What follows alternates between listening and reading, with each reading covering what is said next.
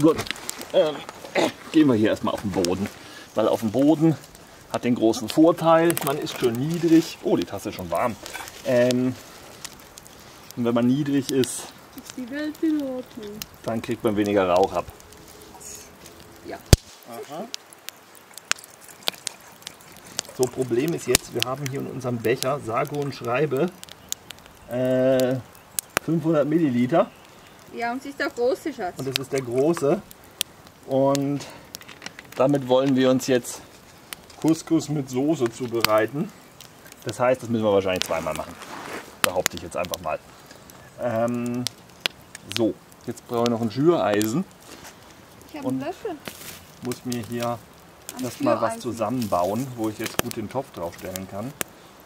Der da müsste noch ein Stück rüber. So. Ja, so weit, so gut. Dann wird der Griff halt heiß. Das ist dann so noch besser. Machen wir das so. Kann hier ganz am Rand stellen. Mhm. Die hätte ich jetzt gedacht.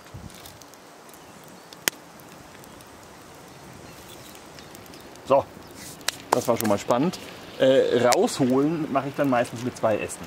Dass ich ihn also mit zwei Ästen wie mit so einer Gabel entsprechend packe. Und ja, einen Deckel haben wir nicht dabei aus Gewichtgründen. Normalerweise hätte der Topf einen Deckel und mit Deckel geht es auch erheblich schneller. Aber jetzt müssen wir halt mit dem arbeiten, was da ist. Das einem übrigens bei dieser Art des Wassers heiß machen, früher oder später irgendwelcher äh, Mischt aus dem Feuer auch in den Topf fällt, ist leider auch normal.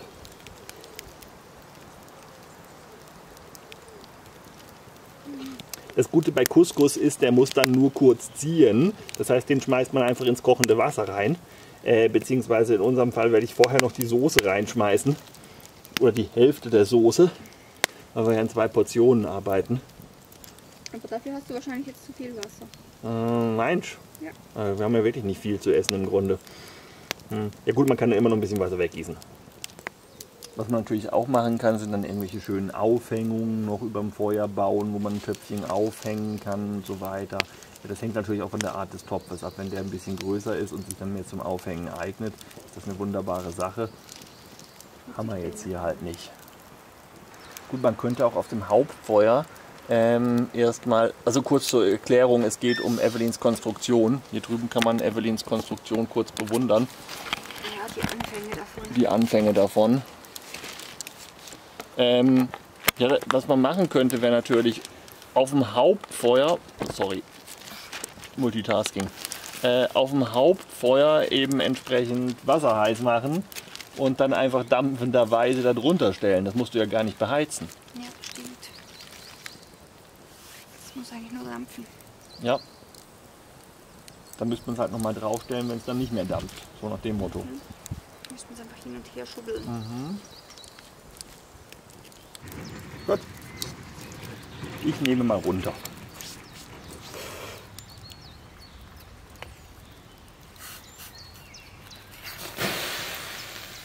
Deswegen sollte man immer mit ein bisschen mehr Wasser arbeiten.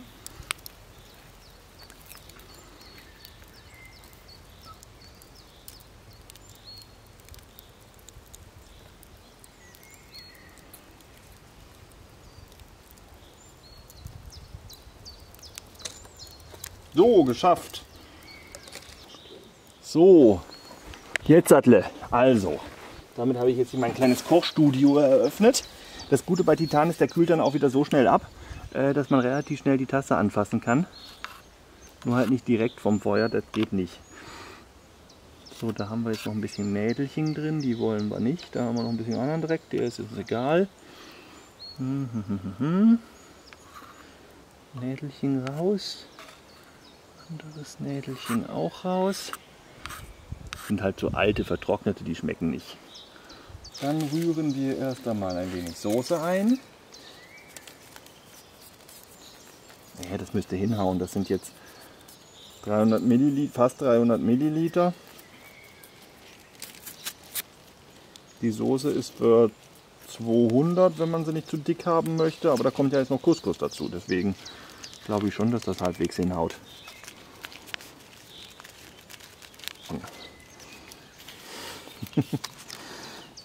so. Ist ja nur ein bisschen für den Geschmack. weiß man schon nicht mehr, was Dreck ist und was Gewürz. Ein wenig, ein wenig Couscous.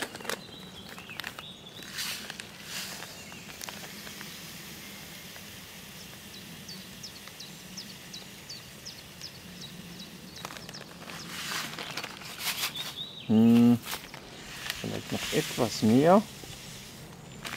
So. Und wir rühren. Ich glaube, wir können noch ein kleines bisschen mehr dazugeben. So, aber jetzt.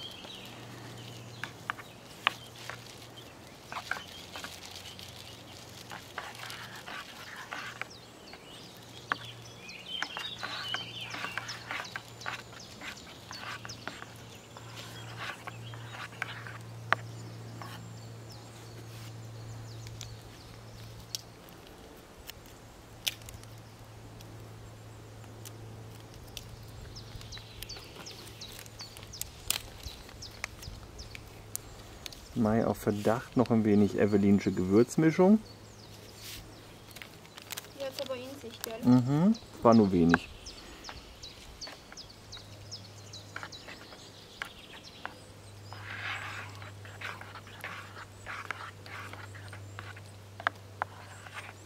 Ich hab von allem. Pfeffer, Mhm. Paprika, Curry, Salz, Mhm. Kräuter. So, Essen fertig. Ähm, sieht folgendermaßen aus. So. Ja, also das ist im Grunde äh, Couscous ne, mit ein bisschen mehr oder weniger künstlicher Tomatensauce, aber ja, ist ganz fein geworden.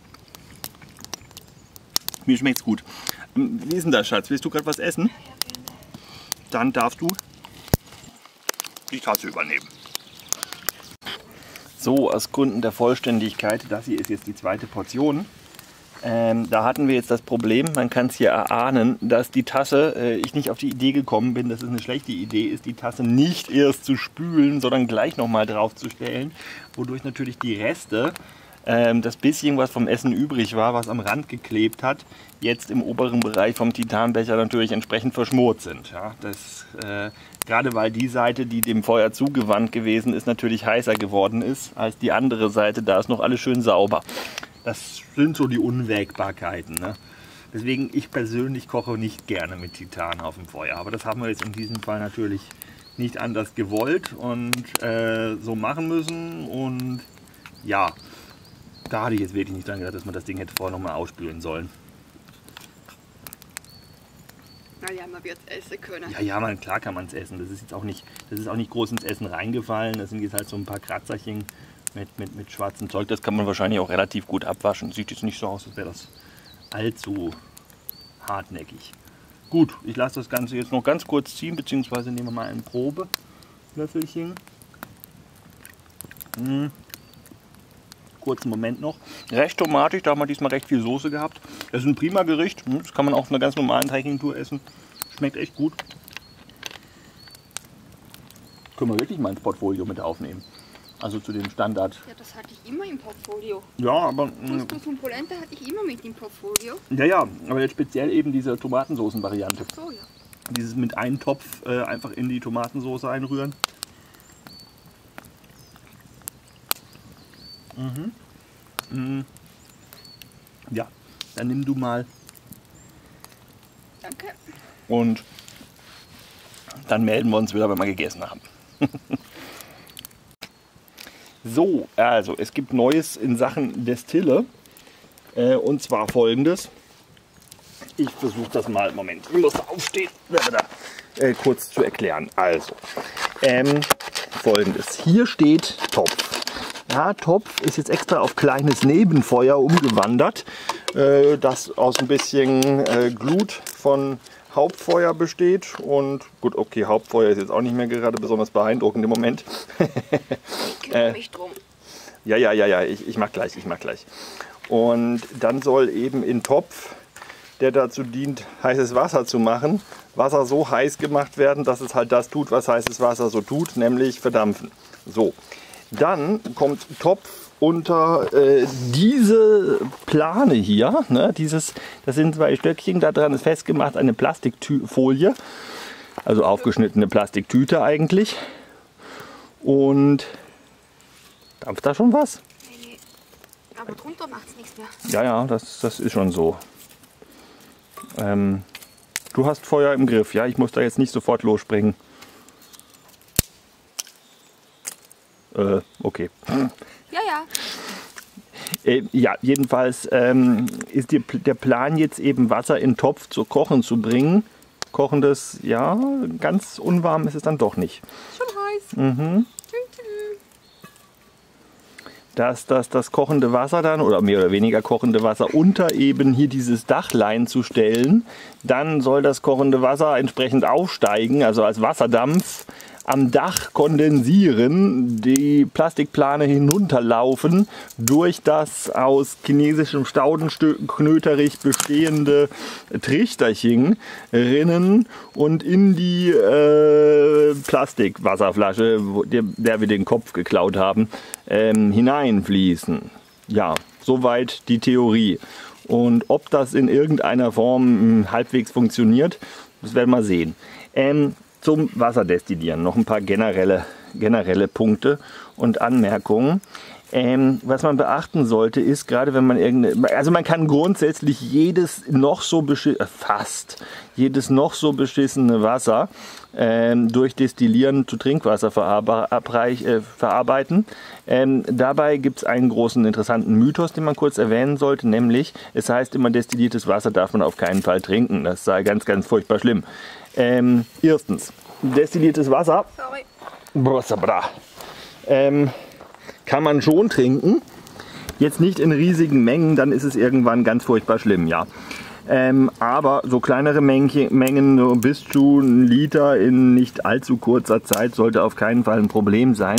Und zweitens, destilliertes Wasser muss ja nicht destilliertes Wasser bleiben. Im Outdoor-Bereich tut es das sowieso nicht, weil die Folie nicht sauber ist, die Luft nicht sauber ist. Ähm, der Wasserdampf wahrscheinlich noch irgendwelche Rußpartikel aufnimmt in dem Moment, wo er den Topf verlässt und so weiter. Also das reicht nicht für wirklich, wirklich destilliertes Wasser. Und äh, drittens, wenn man irgendwas ins Wasser reinkippt, völlig egal was, ja, ein, ein Hauch von Dreck, irgendein Dreck, ähm, Boden, Asche, eine Haferflocke, ein paar Blaubeeren, ganz egal, irgendwas reintun, äh, Handvoll, ein bisschen Sand, also eine Handvoll wäre zu viel, ein paar Krümel halt. Ähm, gar kein Problem, dann ist das Wasser nicht mehr destilliertes Wasser, sondern wieder stinknormales Wasser, in dem gewisse Mineralien enthalten sind und schon kann man es problemlos trinken. So, das nächste, was man wissen sollte, theoretischer Art beim äh, Wasserdestillieren, ähm, ist, wenns Wasser kocht, also die Dreckbrühe, ja, nehmen wir mal an, das sei wirklich irgendein Abwasser aus irgendeinem großen Fluss, bei dem wir davon ausgehen, dass da irgendwelche Chemikalien und wirklich irgendein total giftiger Scheißdreck drin ist. So, und wir müssen aber trotzdem mit diesem Wasser arbeiten, weil was anderes haben wir nicht. Nur mal spaßeshalber, gehen wir mal davon aus. Dann äh, wäre zu beachten, dass man, nachdem das Wasser kocht, das Wasser erstmal eine Weile kochen lässt. Nicht, weil damit irgendwas abgetötet wird, also das natürlich auch, aber, äh, sondern deswegen, dass die Bestandteile im Wasser, die bei weniger als 100 Grad eben entsprechend zu sieden anfangen, äh, dann schon mal rausgesiedet sind. Ja, das wäre also schon mal ganz interessant, dass das der Fall ist. Ähm, des Weiteren darf man es aber auch nicht zu lange kochen lassen, bevor man es dann unter das äh, Gefäß, die Plastikfolie in unserem Fall, drunter stellt, die eben den Wasserdampf auffangen soll, weil irgendwann ist das ganze Wasser, das ja bei exakt 100 Grad entsprechend verdampft, ähm, rausverdampft, oder das meiste verdampft zumindest bei 100 Grad. Und danach ist in dieser Mischung, ja, die aus Wasser plus Giftstoffe besteht, nur noch das Zeug drin, was wir gar nicht haben wollen, das dann erst später verdampft. Und es kann jetzt sein, dass Wasser wird ja nicht heißer als 100 Grad, aber möglich wäre es, dass äh, das, was jetzt noch drin ist, also das giftige Zeug, äh, eben, oh ja, ja, dampft es tatsächlich, äh, eben doch dann noch Da hinstellen, dass es auch in die Plane Ja. dampft. das bisschen, was wir gerettet haben. Dann noch eben verdampft, trotzdem verdampft, weil jetzt kaum noch Wasser in dieser ganzen Mischung aus Giftstoffen und Wasser vorhanden ist und sich diese, diese Chemikalien zum Beispiel schneller, stärker erhitzen können als Wasser. Und das wäre dann theoretisch im Feuer auch möglich. Und die würden dann auch irgendwann verdampfen und landen auch in unserer Distillenvorrichtung. Und deswegen äh, muss man da eben fraktionierte Destillation machen, dass man also die einzelnen Bestandteile des, des, des zu destillierenden, des, der zu destillierenden Flüssigkeit, so jetzt habe ich es, ähm, eben separat auffängt. Ja. Das kann man eben draußen nur so ungefähr machen und nicht so richtig exakt, wie das im Labor theoretisch möglich wäre. Und du darfst da mal bitte hin. Und ja, so. Und man muss noch mal dazu sagen, das ist ein völliges Experiment, das haben wir noch nie gemacht. Das ist die eigene Idee von der Evelyn, die ist hier komplett selbstständig drauf gekommen. Und wir probieren es einfach mal aus. So, Learning by Doing. So, und um den Rest ein wenig zu beschleunigen, habe ich jetzt hier äh, mal die Geschwindigkeit erheblich hochgestellt und dachte, ich quatsch darüber. Ähm, Fazit vorweg, es hat nicht funktioniert. Versuch, Topf heiß machen über Feuer, Topf unter Folie stellen, führt dazu, hier übrigens ein Destillierapparat, also ein, ein, ein richtiger, ähm, so im schematischen Aufbau. Jedenfalls, wenn man Topf heiß macht und unter Plane stellt, dann steigt da schon Wasserdampf irgendwo hin, nur halt nicht gegen die Plane, sondern unter der Plane weg, woran der durchaus auch ein gewisses Interesse hat, der Wasserdampf. Außerdem geht ein gewisses Maß an Wind und das reicht dann schon, dass der sich einfach nicht unter der Plane sammelt, um dort zu kondensieren. So das nächste Problem ist, dass äh, die Plane einfach nicht kalt genug ist, dass der Wasserdampf bei sofortigem Kontakt mit der Plane auch wieder kondensieren würde. Im Gegenteil, die ist ziemlich warm, weil sie ja auch in der Nähe vom Feuer ist und entsprechend hohe Temperatur erreicht. Also bei sofortigem Kontakt ist eine Kondensation also nahezu ausgeschlossen, haben wir dann irgendwie rausgefunden, nachdem wir eine Weile drüber nachgedacht haben. So, was man stattdessen tun muss und deswegen eben der entsprechende Destillierkolben, den ich hier jetzt links im Bild eingeblendet habe, ist eben, man braucht ein geschlossenes System, das man erhitzt. Hier jetzt mit so einem Laborkocherchen, das konnten wir natürlich jetzt nicht machen, so im Wald.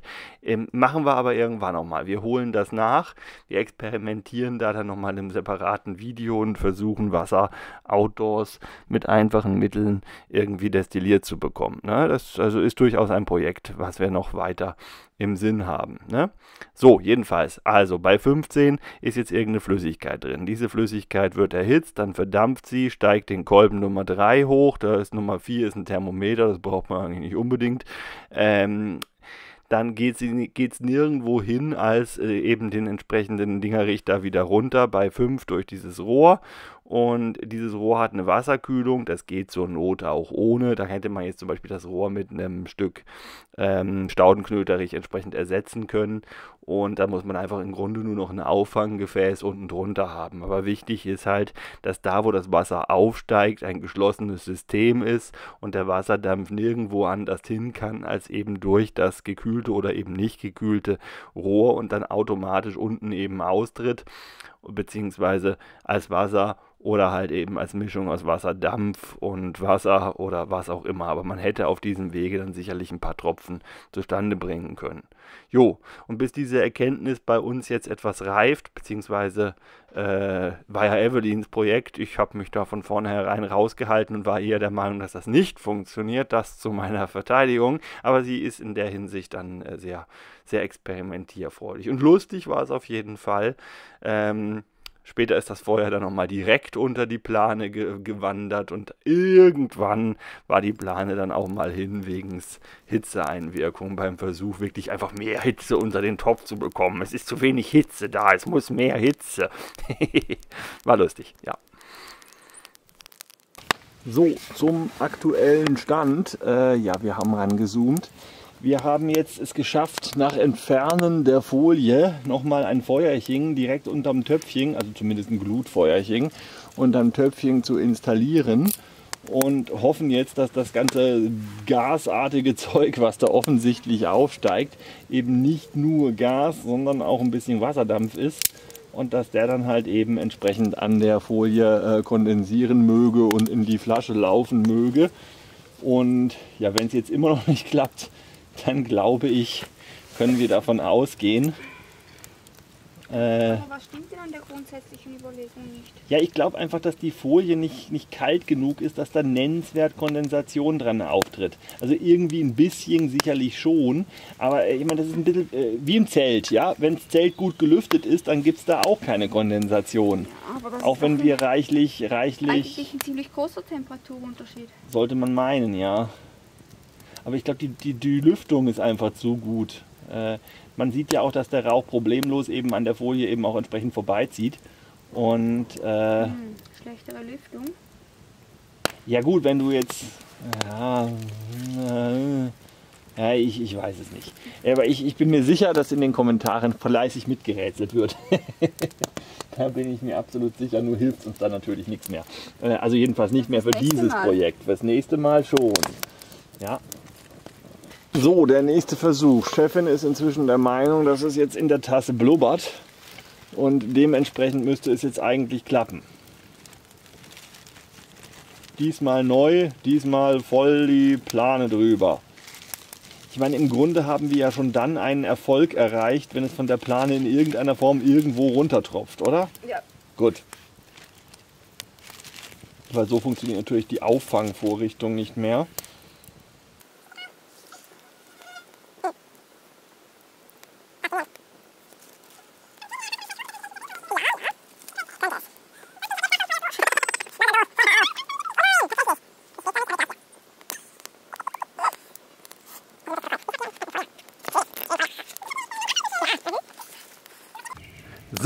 Wir machen jetzt noch ein bisschen Resümee am Feuer. Äh, also nichts Weltbewegendes, aber einfach mal ein bisschen durchgehen, was wir heute gelernt haben. So, äh, ich bin erstaunt, wie gut das mit der Weidenbastschnur funktioniert. Ich, ich wusste das wohl in der Theorie, aber ich habe da selten wirklich viel mit experimentiert. Und äh, das hat mich jetzt wirklich überrascht, wie, wie stabil das auch ist und wie einfach es ist für jemanden wie mich, äh, da eine vernünftige, halbwegs vernünftige Schnur zusammenzudrehen. Ja? Also das waren aber auch wirklich gute Stücke. Ich habe schon mal hingekriegt, so ist das jetzt nicht. Das war jetzt nicht das allererste Mal, aber irgendwie muss ich irgendwas diesmal richtiger gemacht haben als letztes Mal. Ich weiß es nicht. Aber das war wirklich sehr stabil. Ja. Schatz? Auch wenn die Reaktion auf meinen Notruf etwas enttäuschend war, fand ich die Pfeifenschnitzerei sehr, sehr cool. Aha. Auch wenn ich erst gar nicht dachte, dass das irgendwann da möglich ist, mit einfach äh, wie beteppert drauf rumzukloppen, irgendwann die Rinde von der Weide zu lösen und da eine kleine Pfeife zu bauen. Das war cool. Das habe ich auch sehr beeindruckend gefunden, dass die jetzt doch so gut funktioniert mhm. haben. Die, die, die Panflöten-Variante mit dem, mit dem, äh, mit dem Knöterich, äh, mit dem Staudenknöterich, die fand ich eigentlich aber auch ganz lustig, muss ich sagen, dass das doch so einfach geht und so schnell vor allen Dingen. Ich glaube, du musst ein Video machen über die Survival-Pflanze japanischer Staudenknöterich. Ja, schon. Ne? Den haben wir jetzt für sehr vieles verwendet. Ja, der ist schon saupraktisch. Der ist schon, der hat was. Der ist schon ne? wirklich saupraktisch. Also, also er ist zwar scheiße im ökologischen Sinne, ist der wirklich absolut scheiße, aber als Survival-Pflanze hat schon was hat zugegeben. Schon Verwendungsmöglichkeiten. Ja. Und sehr geil fand ich natürlich, wie viele Erdbeeren und Heidelbeeren, vor allem Heidelbeeren, ja, ja. das hier im, im Wald rumstehen. Mhm. Das, da, da, kommt man nicht hinterher mit Essen. Nö, du kommst nicht von A nach B, ohne dir den Wanst vollzuschlagen. Also du kommst nicht von. Aber, ich hab's verstanden. Danke. Ja, ja, ja, okay, okay, okay. Ja gut, aber ich bin ja selber schuld, dass ich das Zeug nicht mag. Das ist ja schon eigentlich im Grunde doof. Äh, aber der Schaden ist angerichtet. Äh, frühkindliche Prägung. So, ähm, ja, ja, äh, ansonsten, äh, was wir jetzt an Problem in Anführungszeichen haben, ist, dass wir nichts nennenswert Gescheites gefunden haben, um unseren Schlafplatz jetzt noch großartig, ähm, ich sage jetzt mal, äh, ja, Liegekomforttechnisch aufzupeppen. Ja, also wir liegen jetzt schlicht und ergreifend einfach platt auf dem Waldboden. naja, er ist relativ weich. Es ist weicher Waldboden. Recht moosiger Waldboden. Mhm, Rohhumus. Aber ja. Ja, Ja, aber ganz ehrlich, es gibt auch nichts, es sei denn, man möchte wirklich jetzt nochmal einen Riesenhaufen fahren zu diesem Zwecke entsprechend abschnibbeln. Das habe ich bei meinem ersten Survival-Training ja gemacht. Damit habe ich das mal ausprobiert. Äh, das hat mir jetzt gereicht und äh, das war die einzige Möglichkeit, die ich jetzt eigentlich weit und breit gesehen habe, um nochmal irgendwas an Polstermaterial zusammenzukriegen. Ja, Laub gibt es nicht viel im Nadelwald. Laub gibt es im Nadelwald nicht viel. Nadelwald, äh, Humus zusammenkratzen ist, ist, ist das ist wieder mal stark am Rande der Illegalität, weil das so ein bisschen Richtung Streunutzung geht. Das stellt für den Wald auch wirklich einen gewissen Nachteil dar, wenn man da größere, größere, krassere Bodenverwundungen in diesem Fall durchführt. Das kann man hinterher zwar wieder so halbwegs zurückscheren, aber das ist nicht dasselbe. Wirklich transportieren kann man es auch nicht wirklich. Man, ja gut, man kann es natürlich händeweise da durch die Gegend schleifen, aber das bringt nicht viel. Mhm. Und äh, wahrscheinlich brauchen wir die Temperaturisolierung. Also jetzt so rein von der Temperatur her nach unten sowieso nicht unbedingt. Aber weich wäre schön. Gewesen. Weich wäre schön gewesen.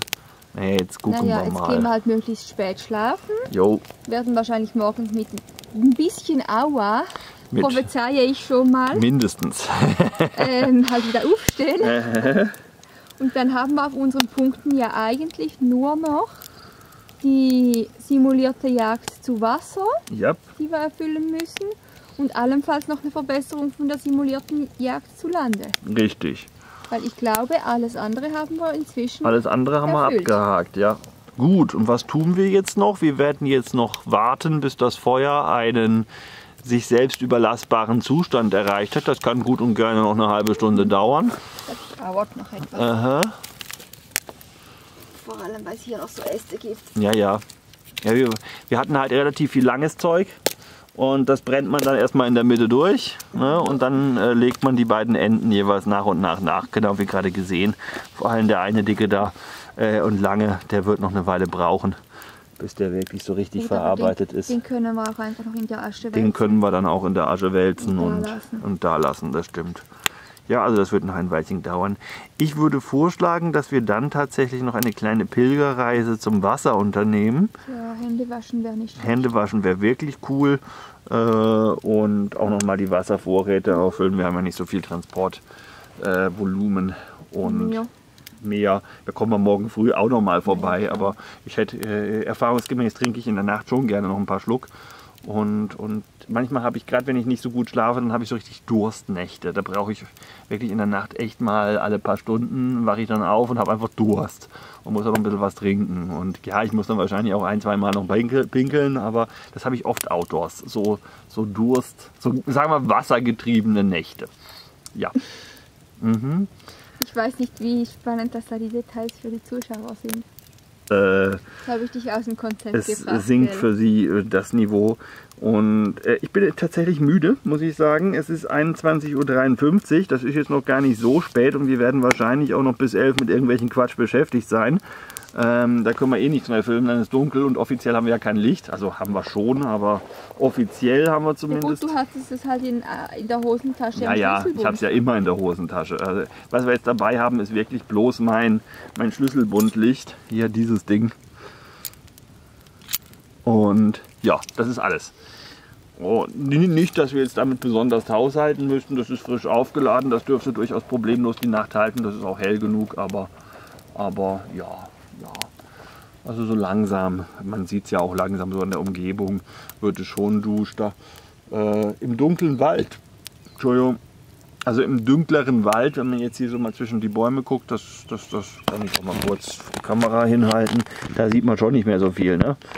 Und äh, dementsprechend, ja, so langsam kehrt die gute alte Nachtstimmung ein. Könnte wirklich ein bisschen spannend sein, durch die Nacht zu kommen. Es sollte aber wirklich nicht kalt werden. Aktuell, ähm, also hier an diesem Platz gibt es auch ein Thermometer, das hängt da hinten an einer Hütte.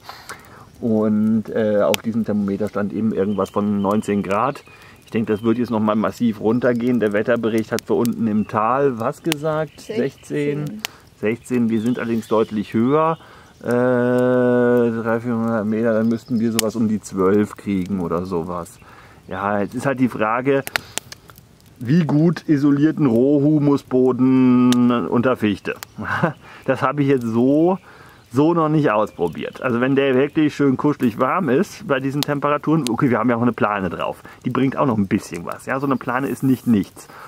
Und ähm, ja, das wird vor allen Dingen die Hauptfrage sein. Dass ich obenrum bei diesen Temperaturen friere, wage ich zu bezweifeln, insbesondere wenn ich eine Jacke anhabe und dann habe ich auch eine Rettungsdecke zum Zudecken. Und allzu viel Wind sollte nicht gehen dazwischen Ganz genau. den Blaubeeren, wo unser Lager ist. Ganz genau. Und außerdem, also jetzt, äh, Evelyn hat ja eh den Quilt. Damit dürfte das also zumindest von oben her kein Problem sein.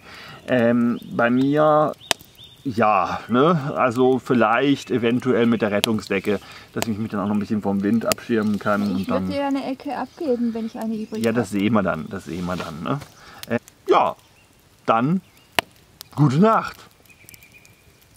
Ja, finde ich auch. Schlaf gut.